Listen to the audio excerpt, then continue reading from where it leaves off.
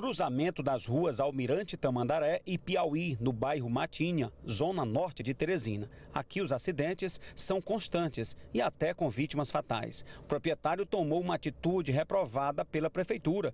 Construiu barreiras de concreto em forma de manilhas e foi o que salvou os funcionários e o proprietário nesta manhã. E a prefeitura ainda quer que eu tire essas manilhas daí. Queria até me multar porque eu botei essas manilhas. Se não fosse a proteção, Teria entrado, o carro estava morto, né? Estava invadido aqui. Estava invadido, tinha exatamente. muita gente agora quando, na- no momento? Tinha, tinha umas, uns dois clientes aqui no balcão. Tinha clientes aqui? Tinha, tinha. E vocês, outro É, e a pessoa montando os carrinhos lá, o nosso, nosso Sim. trabalha com a gente aqui, o funcionário, né? Uhum. E não morreu porque Deus e essa proteção aí, né? Uma cena inusitada. Duas caminhonetes se envolveram no acidente e, no meio de tudo isso, um mototaxista que transportava uma cliente. Por sorte, não saíram feridos. Eu, não- eu não sei nem explicar, eu.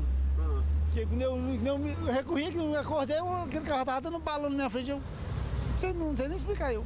Pode até sorrir agora, né? Mas não, foi pelo, brincadeira, pelo, né? pelo tamanho do, do, do, do coisa. né, do estrago O material aí. O cara olhar pra canela, ver só isso aqui, o cara tem que sorrir mesmo, pedir graças a Deus, pedir a Deus, tem né? pancada, ó, tem uma pancada aí na, Hã? Canela, né? Tem, tem que o cara dizer graças a Deus, Graças graças, a meu bandeiro. Uma das picapes invadiu a preferência do lado da Almirante Tamandaré e a outra foi parar justamente sobre as manilhas de concreto.